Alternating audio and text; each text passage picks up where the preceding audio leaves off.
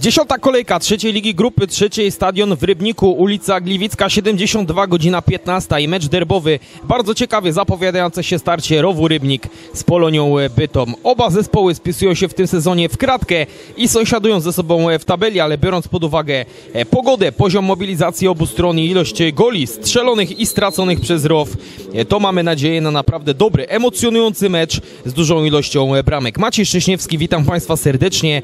Będziemy mieli wspólnie e, okazję i przyjemność e, oglądać e, tenże mecz derbowy.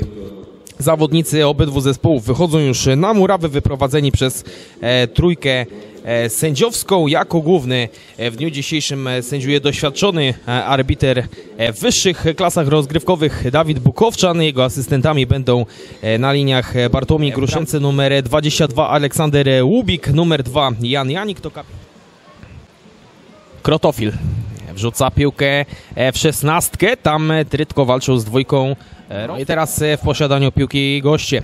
Czajkowski. Jest sytuacja w polu karnym. Uderzenie Dawida Krzemienia lewą nogą. Po ziemi starał się zaskoczyć broniącego bramki. Go zaliczył zwycięstwo w tym meczu. Żagiel złamał akcję do środka. Nieźle się zapowiada ta akcja gości. Teraz próbował strzelać chyba Jarosław e, Czernysz, no ale e, ten strzał niecelny, a szkoda e, dla gości, bo Row Rybnik e, prowadzi w tabeli nice e, pierwszej ligi. Więc nieźle e, poczynają sobie e, w tejże dyscyplinie e, Rybniczanie. E, Teraz e, dośrodkowanie w pole karne, takie płaskie e, autorstwa Wodeckiego. Spójrzmy, Trytko, no wydaje się, że tam była ręka e, w polu karnym. No protestują w zasadzie wszyscy e, zawodnicy.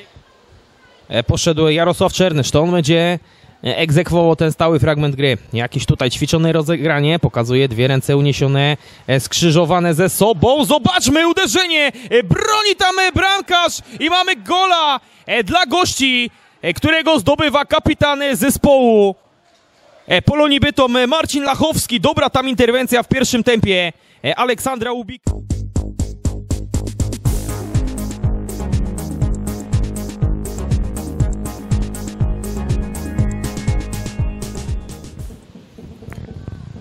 Zawodnicy rowu przy piłce. Na lewej stronie e, szkatuła jest e, piłka w polu karnym. E, jak tutaj. Ale spójrzmy na tą akcję. Żagiel, dośrodkowanie, wychodzi z bramki. Na pierwszym miejscu gracza ze Zdzieszowic i Stalbrzeg przegrywa z ruchem Chorzów e, 1 do 0 po golu Tomasza Foszmanczyka. Plizga w polu karnym.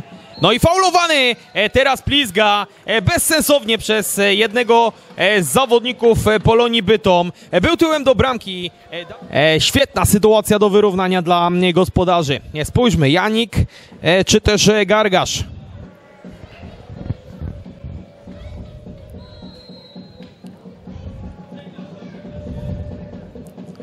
Janik i pewnie wykonana. E, jedenastka, mamy wyrównanie, Gargasz e, zmylony. E, zupełnie pokazuje teraz. E, na herb, całuje. Herb rowu, kapitan drużyny pobudza teraz jeszcze.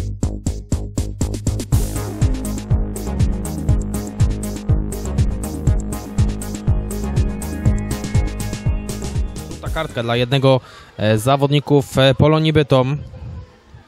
30-letni linią defensywy i napastnikami, ale teraz e, świetna okazja e, dla drużyny Polonii. Spójrzmy, uderzenie, nie ma gola.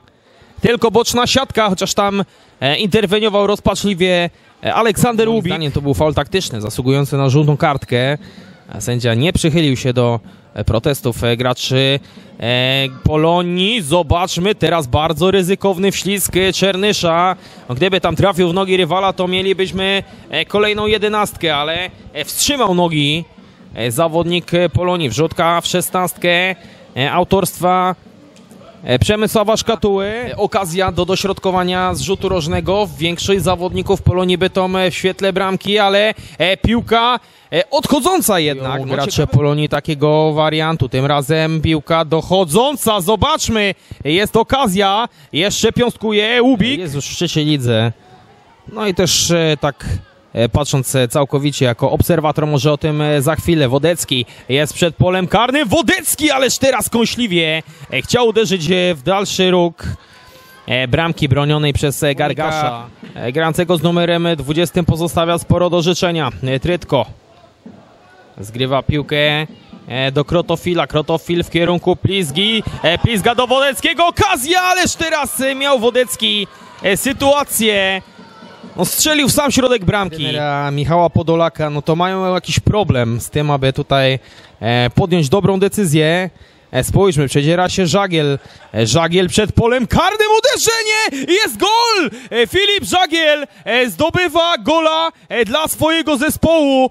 Takim to uderzeniem sprzed pola karnego. Mówiłem o tym, że świetnie się dzisiaj prezentuje, że dobrze wygląda ten zawodnik grający z numerem 17. Gdzieś tam jeszcze rykoszet od nogi jednego z zawodników Rowu Rybnik i od słupka ta, bram, e, ta piłka wpada do bramki, e, do siatki bramki bronionej przez Aleksandra Łubika i bramka do szatni, 45 minuta, w zasadzie równo e, z tym jak skończył nam się czas regulaminowy w tej pierwszej części meczu. Gola zdobywają e, gracze z Bytomia, no i e, czy teraz zakończy sędzia pierwszą część meczu, czy też pozwoli jeszcze e, zagrać. Nie, nie pozwoli. Gwizdek kończący pierwszą część e, meczu. Bramka do szatni. Zobaczymy, e, jak to będzie nam rzutowało na drugą część meczu, na którą zapraszam serdecznie za kilkanaście minut.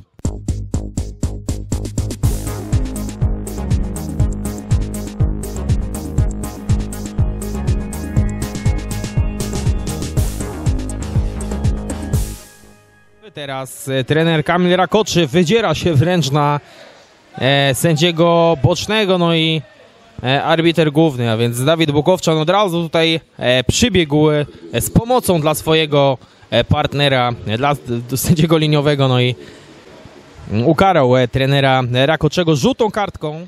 Sześciu zawodników rowów, w szesnastce, piłka w kierunku Trytko, e, Wodecki, e, Wodecki, piłka e, wzdłuż bramki, ależ tam e, no dość e, fartownie Michał Bedronka e, wybił tą piłkę nad e, poprzeczkę. Bo...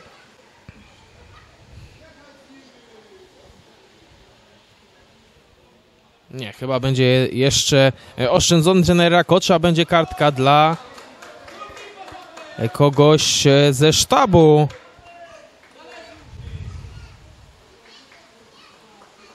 Nie, e, gości. Matusiak rozprowadza akcję do lewej strony. Lachowski, bardzo mądrze Lachowski. Naprawdę może się podobać też dzisiaj ten zawodnik. Czernysz. Płaskie wbicie piłki. Oj, teraz e, będzie chyba okazja dla Polonii, ależ spartaczył to. Stefański teraz e, powinien lepiej obsłużyć e, partnera podaniem. Oj, teraz będzie żółta kartka dla Bielicy. Ewidentny faul. A to jest druga żółta kartka. No i teraz druga. E, Kamil rakoczy swojego e, podopiecznego za ten faul. Mm, Sporo słabsza, myślę, e, do tej pory, aniżeli e, pierwsza część meczu. Świetnie, teraz e, wychodzą gracze Polonii Bytom. Jest okazja. E, dogranie, no i tam ustrzelony tą piłką. Dominik Konieczny, stałych fragmentów gry, no i spójrzmy. 86 minuta, Gryszka tu, ale bardzo, bardzo czytelnie też Gargacz sobie tą piłkę wypuścił. Oj, teraz żółta kartka będzie na pewno za ten faul. Radosława Dzierbickiego wyciął równo z trawą Koniecznego i przerwał tą akcję.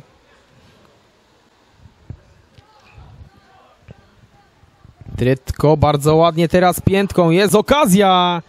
No takich akcji powinniśmy widzieć więcej w wykonaniu gospodarzy. No teraz ten mecz nam się ożywił e, w końcówce. E, Dzierbicki mają jeszcze e, ponad dwie minuty gracze gospodarzy. Plizga do Trytko, ale faulował rywala Przemysław Trytko.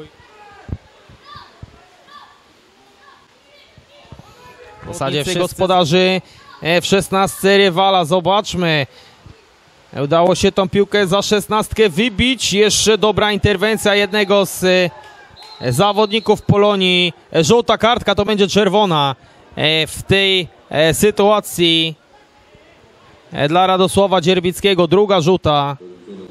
A i oba zespoły będą kończyły mecz e, w dziesiątkę. Druga połowa troszkę słabsza. Mniej e, dogodnych okazji do zdobycia gola e, z obydwu stron, ale teraz jeszcze prostopadłe podanie. Jeszcze chyba pozwoli jedną akcję rozegrać e, gospodarzom arbiter. Janik, długa piłka do Trytko. Główkuje Matusiak i wygrywają derby 2 do 1. Gracze Polonii Bytom mimo gry w przewadze przez ostatnie w zasadzie 20 minut meczu. E, Gracze Rowu nie byli w stanie doprowadzić chociażby do wyrównania.